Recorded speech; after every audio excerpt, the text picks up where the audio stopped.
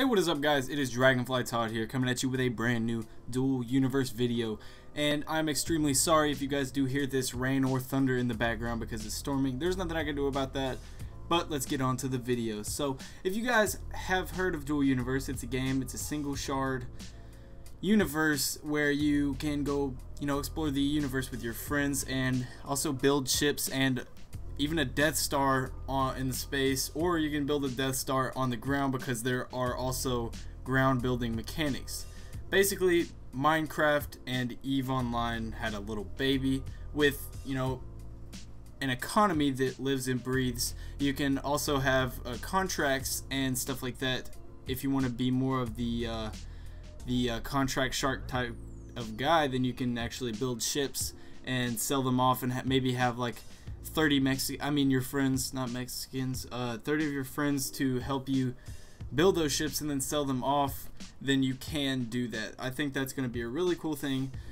And if you guys have heard of the new dev blog that just came out, they finally have completed their physics and planetary travel system. What that means is that they have kind of gotten to a little bit of a milestone in stands of where what they're going to do with the game. So basically, they have been able to like actually go to another planet and I think that's a really nice step into the direction and I think it's really cool man. I think I think this game is really gonna be uh, awesome if JC Baillie can pull it out. So the game is from Novaquark Entertainment or entertainment I added that part onto there.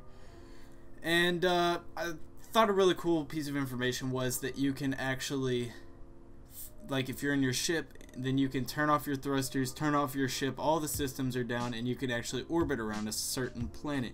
And all these planets that you can orbit around or go down to and see the different civilizations that people have built on the planet, they are all procedurally generated.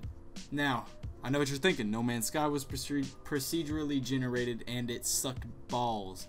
So, um, I feel like this is going to be a lot different because they're building as an MMO as of now, they're they're building as an MMO, so they're not making any single player adjustments at all. So it's gonna be a fully online game. So whenever I get into this game, I'm going to buy it. When I get into this game, I'm going to build a huge Death Star and have EvoCorp Space Industries. Uh, you know, we have the Star Citizen Space Industries. I think it would be cool if EvoCorp could stretch across different games such as Identity, Star Citizen, Dual Universe. Uh, it doesn't matter. Grand Theft Auto, I don't care. It's just, we gotta we gotta grow our brand, guys. But I think this game looks really cool. It does have a lot of potential. I will definitely be putting out whatever I can over this game if there there's new stuff about it. It's basically uh, Minecraft in space. And uh, yeah, if you guys do enjoy this video, make sure you go ahead and leave a like.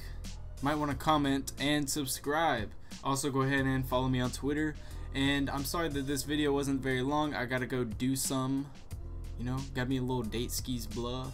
I gotta gotta go take a shower and stuff, and it's raining, so it doesn't really like matter. But yeah, I did not want to miss my upload schedule. By the way, updates are coming soon. I want to make an update, updated uh, schedules so that I can uh, put it on there for you guys, and you guys can know when to actually come back and watch my awesome, creative, quality content.